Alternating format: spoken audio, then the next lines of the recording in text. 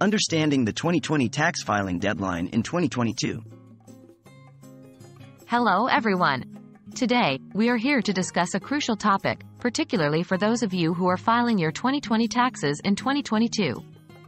We're going to shed some light on what the deadline for this procedure is if you're submitting them electronically. Remember, knowing your tax deadlines is crucial to avoid penalties and late fees. When is the standard deadline for tax filing? Normally, the deadline for filing taxes in the United States is April 15th of the year following the tax year. For example, for 2020 taxes, the standard deadline would have been April 15, 2021. However, when we are talking about submitting 2020 taxes in 2022, we need to consider the implications of late filing and whether any extensions have been granted. What happens if you miss the standard deadline?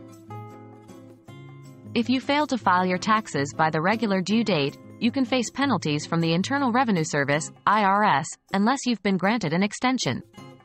For the 2020 tax year, if you filed for an extension, you would have until October 15, 2021 to submit your tax return without incurring a late filing penalty. Can you still electronically file 2020 taxes in 2022? The IRS e-file system typically accepts tax returns for the current year and up to two years prior. Therefore, as of 2022, you should still be able to electronically file your 2020 taxes. But keep in mind that there will likely be late penalties, as well as interest accrued on any unpaid taxes since the original due date. To sum up, always aim to file your taxes on time to avoid unnecessary penalties.